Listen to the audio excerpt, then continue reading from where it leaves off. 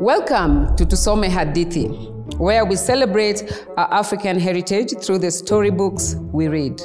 My name is Suzanna Owiyo, and I'm going to be reading Osiepe, written by Zimbili Dlamini and Hlengiwe Zondi. Make sure to listen closely for the sound of the drum beats. The drum beats will sound when I say the special word of the story. Listen all the way to the end to find out if you guess the special word right. All right then, let's get started. Nyinga and Simo. My name is Simo. Angosiepe ang'wen. I have four friends.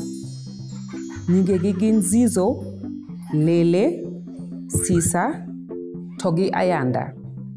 Their names are Zizo, Lele, Sisa, and Ayanda.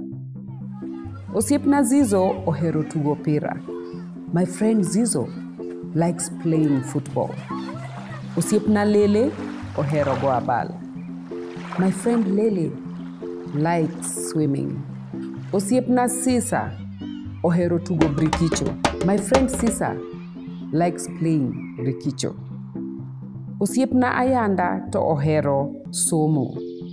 My friend Ayanda loves reading. An hero timo gigo magi hero timo te. I love doing what they love doing. Atugo opira gi Zizo. I'm playing football with Zizo. Ago abal gi Lele. I'm swimming with Lele. Atugo brikicho gi Sisa. I'm playing brikicho with Sisa. Bi osiepa, ini herango. Come, my friend. What do you like? Bi tugo pira kodwa. Come play football with us. Bi igo abal kodwa.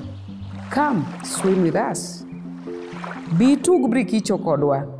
Come play brikicho with us. Bi mondi som kodwa. Come read with us. Did you hear the drum beat? Did you discover the special word of the story? If you said brikicho, you're right. Brikicho, banture, brikicho, banture, brikicho, banture. Brikicho is the name of the game of hide and seek. It's a game that young boys and girls play where one person closes their eyes and counts as the others run to hide. Then he or she says brikicho. Those that run to hide respond with banture. Do you know how to play brikicho? Ask your parents or friends to show you and see how much fun it is. I hope you enjoyed today's story.